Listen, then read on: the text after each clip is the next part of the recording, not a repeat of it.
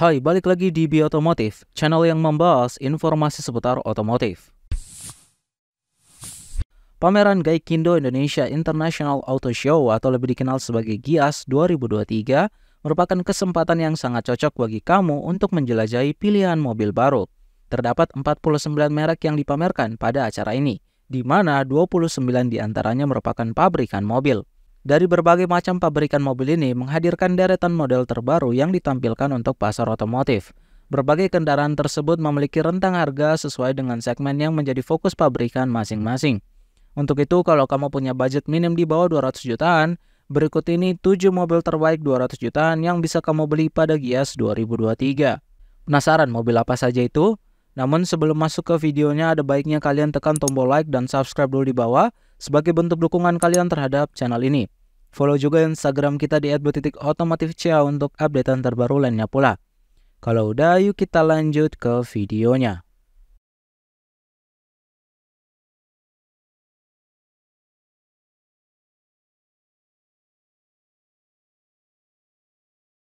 Number 7.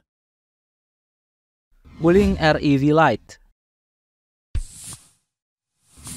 Wuling REV Lights telah secara resmi diperkenalkan dalam rangkaian pameran Gaikindo Indonesia International Auto Show atau GIAS 2023.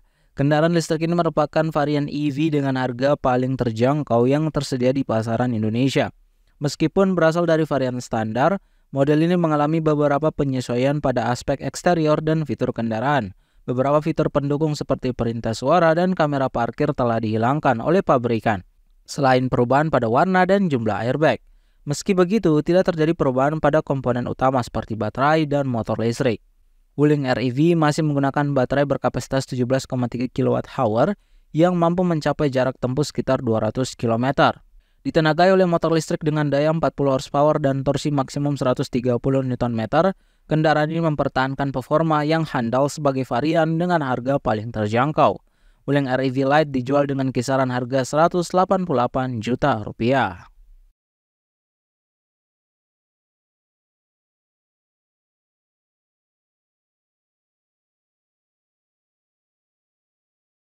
Number 6. Suzuki Espresso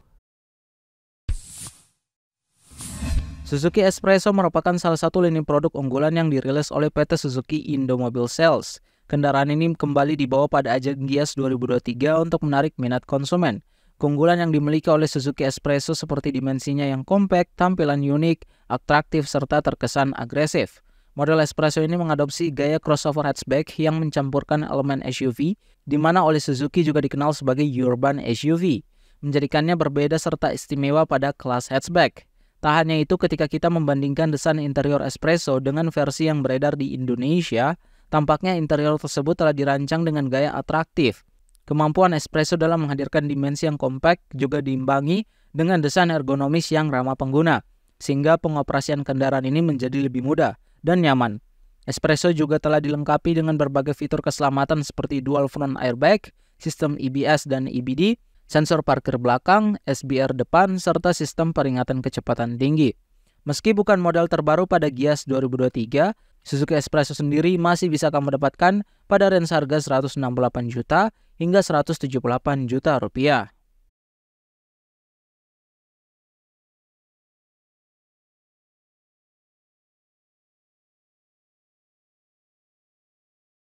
Number 5. Daihatsu Ayla 2023 Hadir pada ajang Gias 2023, New Daihatsu Ayla ini bisa menjadi pilihan bagi kamu yang ingin mencari mobil di bawah 200 jutaan. Menggunakan platform Daihatsu New Global Architecture, All New Daihatsu Ayla memiliki dua pilihan mesin yakni 1200cc dan 1000cc. Mesin 1200cc ini juga sama seperti yang digunakan pada Daihatsu Rocky, yang diklaim dapat menghasilkan tenaga hingga 86 daya kuda dan torsi sebesar 112,7 Nm pada 4500 rpm. Sedangkan mesin 1000cc mampu menyemburkan tenaga 67 daya kuda pada 6000 rpm dan torsi 89 Nm pada 4400 rpm. Selain mesin, Daihatsu Ayla 2023 kini dibekali dengan transmisi baru yakni DCVT yang membuat akselerasi kendaraan lebih halus dan bahan bakar menjadi lebih efisien. Untuk fitur keselamatannya, Daihatsu Ayla dilengkapi dual SRS airbag pada seluruh varian dan seatbelt reminder untuk pengemudi serta penumpang. Kemudian pada beberapa varian, All New Ayla juga memiliki fitur keselamatan terkini seperti Hill Start Assist yang berfungsi mencegah mobil bergerak mundur saat berhenti di tanjakan selama beberapa waktu.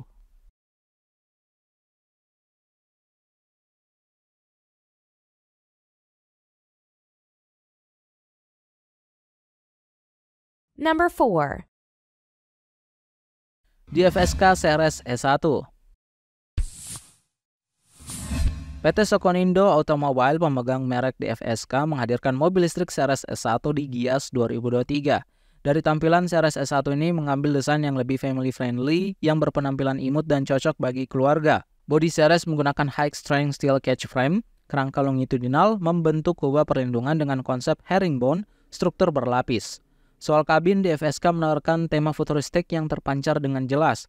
Head unit berukuran 8 inci hadir sebagai pusat kontrol audio dan fitur-fitur mobil yang mudah diakses. Sebagai tambahan, persneling ditambahkan di dashboard tengah sebelah setir, memberikan kemudahan bagi pengemudi untuk mengaksesnya. Soal dapur pacu, mobil listrik produksi massal di FSK ini akan menggunakan baterai lithium berkapasitas 16,8 kWh yang dipasangkan dengan motor listrik berdaya 30 kW dan torsi sebesar 100 Nm. Dengan kombinasi ini di FSK dapat menempuh jarak hingga 200 km. Selain itu, mobil ini juga dilengkapi dengan mode berkendara eco dan sport yang memberikan fleksibilitas dalam mengatur penggunaan energi.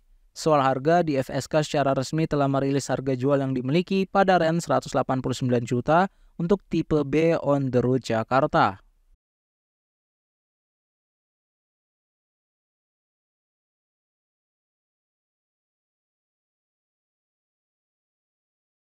Number 3. New Honda Brio Satya Honda juga menampilkan salah satu mobil terlaris mereka di Indonesia yakni Honda Brio. Secara desain, New Honda Brio masih mempertahankan garis dan bahasa desain dari versi sebelumnya. Hanya saja, ada beberapa pembaruan di bagian eksterior. Brio Satya mendapatkan penambahan berbagai fitur baru berupa new headlamp with LED daytime running light, new chrome front grille design, new 14 two-tone alloy wheel, juga new front bumper design. Sementara untuk interiornya, New Honda Brio dilengkapi penambahan berbagai fitur terbaru, antara lain New Seat Pattern Design, New Sporty Dashboard, fitur entertainment 7 inci, New Illumination Light, serta beberapa pembaruan lainnya. Mengenai mesin, New Brio Satya ini mengandalkan mesin spesifikasi sebelumnya yakni 1200cc SOHC, 4 silinder segaris, 16 katup iVTEC dengan sistem injeksi. Mesin ini setidaknya menghasilkan tenaga hingga 90 PS pada 6000 rpm dan torsi puncak 110 Nm pada 4800 rpm.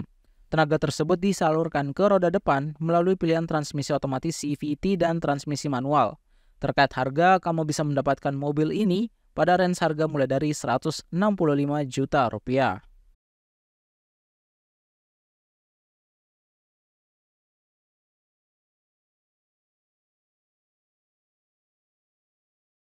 Number 2.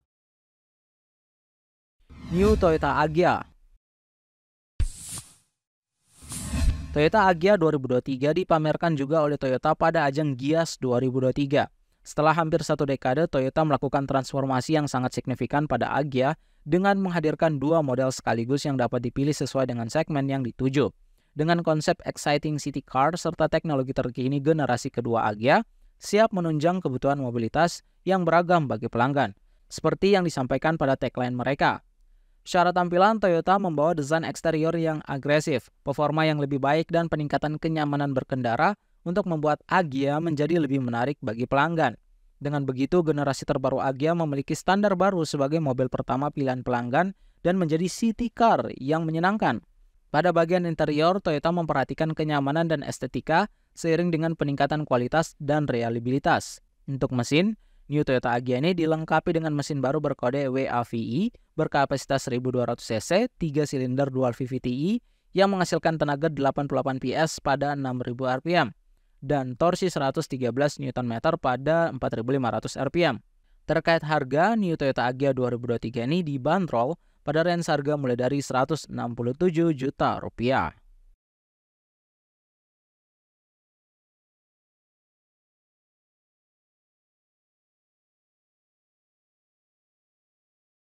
Number 1.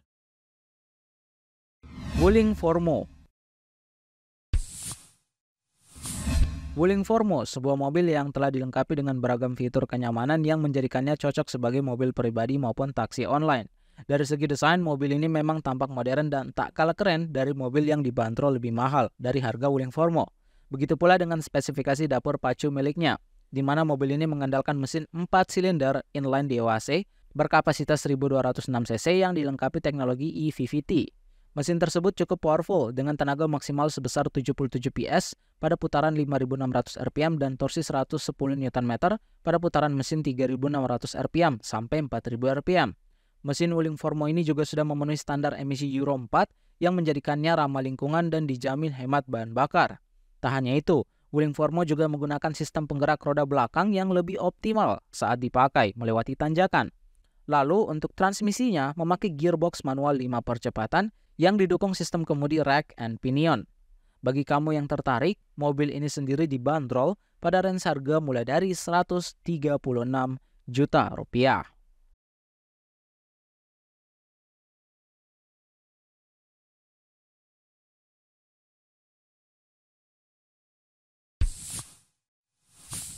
Nah, itu dia 7 mobil terbaik 200 jutaan yang bisa kamu beli pada Gias 2023. Kira-kira dari 7 list mobil ini ada nggak incaran kalian?